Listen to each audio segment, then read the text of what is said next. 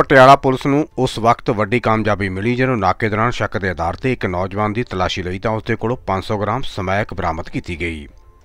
SHO ਕੋਤਵਾਲੀ ਇੰਦਰਪਾਲ ਸਿੰਘ ਚੌਹਾਨ ਦਾ ਕਹਿਣਾ ਹੈ ਕਿ ਇਸ ਸਮੇਂ 500 ਗ੍ਰਾਮ ਸਮੈਕ ਦੀ ਕੀਮਤ 2 ਲੱਖ ਤੋਂ 5 ਲੱਖ ਦੱਸੀ ਜਾ ਰਹੀ ਹੈ।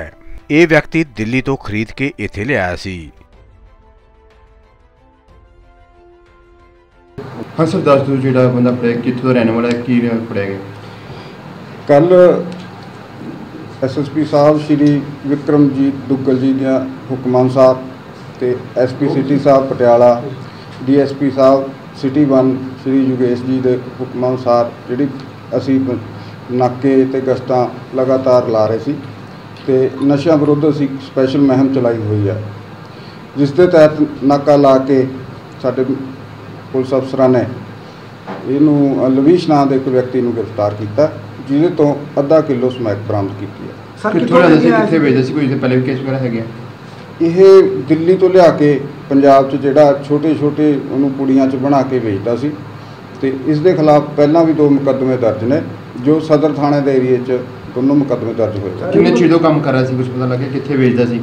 ਇਹ ਪਿਛਲੇ 2-3 ਸਾਲਾਂ ਤੋਂ ਇਹ ਕੰਮ ਕਰ ਰਿਹਾ ਪਹਿਲਾਂ ਵੀ ਫੜਿਆ ਗਿਆ ਸੀਗਾ ਹੁਣ ਜਦੋਂ ਇਹ ਜੇਲ੍ਹ 'ਚੋਂ ਬਾਹਰ ਆਇਆ ਫਿਰ ਕੰਮ ਕਰਨ ਲੱਗ ਗਿਆ ਸੀਗਾ। ਕਿ ਹੁਣ ਇਹਦੀ ਪ੍ਰਾਪਰਟੀ ਵਗੈਰਾ ਵੀ ਜਿਹੜੇ ਪਹਿਲੇ ਇਹਨੇ ਪੈਸੇ ਜਿਹੜੇ ਵੇਚੀ ਹੈ ਉਹਦੀ ਕੋਈ ਪ੍ਰਾਪਰਟੀ ਵਗੈਰਾ ਸੀ ਵੀ ਇਹ ਅਸੀਂ ਅੱਗੇ ਇਨਵੈਸਟੀਗੇਸ਼ਨ ਕਰ ਰਹੇ ਹਾਂ। ਜੇਕਰ ਕੋਈ ਇਹਨੇ ਪ੍ਰਾਪਰਟੀ ਇਸ 'ਚ ਬਣਾਈ ਹੈ ਤਾਂ ਅਸੀਂ ਉਹਨੂੰ ਫ੍ਰੀਜ਼ ਕਰਾਵਾਂਗੇ। ਕਿੰਨੀ ਕੀਮਤ ਇਹਦੀ ਹੈਗੀ ਹੈ ਜਿਹੜੀ ਇਸ ਟਾਈਮ ਜਿਹੜੀ ਦਿੱਤੀ ਗਈ? ਜਿਹੜੀ ਅਸੀਂ ਇਹ ਬਰਾਮਦ ਕੀਤੀ ਹੈ ਇਹਨੂੰ ਇਹ 2 ਲੱਖ ਰੁਪਏ 'ਚ ਦਿੱਲੀ ਤੋਂ ਲੈ ਕੇ ਆਇਆ ਸੀ। ਤੇ ਅੱਗੇ ਇਹਨੇ 5 ਲੱਖ 'ਚ ਉਹਨੂੰ ਪਰਚੂਨ ਛੋਟੇ ਛੋਟੇ ਹਿੱਸਿਆਂ 'ਚ ਕਰਕੇ ਵੇਚਣਾ ਸੀ। ਸਰ ਪਤਾ ਲੱਗੇ ਵੀ ਜਿ- ਜਿਨ੍ਹਾਂ ਲੋਕਾਂ ਨੂੰ ਦਿੰਦਾ ਜੀ ਪੂੜੀਆਂ ਬਣਾ ਕੇ ਉਹ ਛਾਣਬੀਨ ਉਹਨਾਂ ਦੀ ਵੀ ਕਰ ਰਹੇ ਹੋ ਜਿਹੜੇ ਯੂਜ਼ ਕਰਦੇ ਸੀ ਚੀਜ਼ ਜੋ ਵੀ ਇਹ ਤੋਂ ਅੱਗੇ ਖਰੀਦਦੇ ਸੀ ਅਸੀਂ ਉਹਨਾਂ ਦੀ ਇਨਵੈਸਟੀਗੇਸ਼ਨ ਕਰਕੇ ਉਹਨਾਂ ਨੂੰ ਵੀ ਅਸੀਂ ਲੈ ਕੇ ਆਵਾਂਗੇ।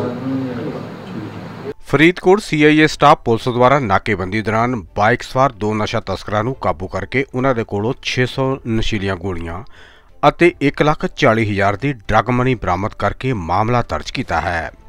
ਐਸਆਈ ਸੁਖਦਰਸ਼ਨ ਸ਼ਰਮਾ ਦਾ ਕਹਿਣਾ ਹੈ ਕਿ ਇਹਨਾਂ ਤੋਂ ਹੋਰ ਵੀ ਅਹਿਮ ਖੁਲਾਸੇ ਹੋਣ ਦੀ ਉਮੀਦ ਹੈ।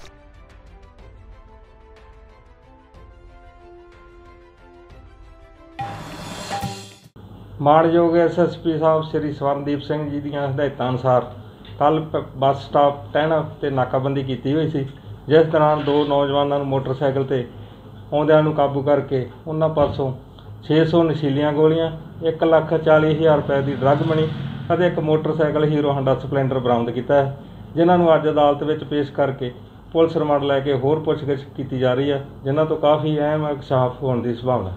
ਸਰ ਇਹ ਕਿੱਥੋਂ ਦੇ ਰਹਿਣ ਵਾਲੇ ਸੀ ਔਰ ਕਿੱਧਰੋਂ ਇਹ ਜਿਹੜਾ ਨਸ਼ੀਲਾ ਸਮਾਨ ਲੈ ਕੇ ਆਏ ਸੀ? ਇਹ ਪਿੰਡ ਘੱਗਾ ਥਾਣਾ ਸਦਰ ਮਲੋੜ ਦੇ ਰਹਿਣ ਵਾਲੇ ਆ ਦੋਨੋਂ ਨੌਜਵਾਨ ਅਤੇ ਇਹ ਤਰਨਤਾਰਨ ਸਾਈਡ ਤੋਂ ਸਮਾਨ ਲੈ ਕੇ ਆਉਂਦੇ ਸਰ ਪਹਿਲਾਂ ਵੀ ਕੋਈ ਇਹਨਾਂ ਦੇ ਖਿਲਾਫ ਕੋਈ ਮਾਮਲਾ ਦਰਜ ਹੈ ਜਾਂ ਕੋਈ ਅਜੇ ਇਹਨਾਂ ਦੇ ਪਹਿਲਾਂ ਵੀ ਤਿੰਨ ਮੁਕੱਦਮੇ ਐਨਡੀਪੀਐਸ ਤੇ ਲੜਾਈ ਝਗੜਿਆਂ ਦੇ ਦਰਜ ਆ ਜੋ ਅਦਾਲਤਾਂ ਵਿੱਚ ਚੱਲ ਰਹੇ।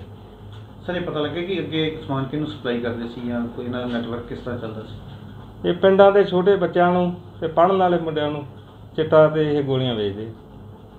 ਸਰ ਜਿਹੜੀ ਡਰਗ ਮਨੀ ਬਰਾਮਦ ਹੋਈ ਹੈ ਕੋਈ ਪਤਾ ਲੱਗਿਆ ਉਸ ਬਾਰੇ ਜਾਣਕਾਰੀ ਮਿਲੀ ਵੇਚੇ ਹੋਏ ਸਮਾਨ ਤੋਂ ਕਮਾਏ ਹੋਏ ਪੈਸੇ ਆ ਬਾਕੀ ਹਜੇ ਇਸ ਸੰਬੰਧੀ ਤਬਦੀਲ ਚੱਲ ਰਹੀ ਹੈ।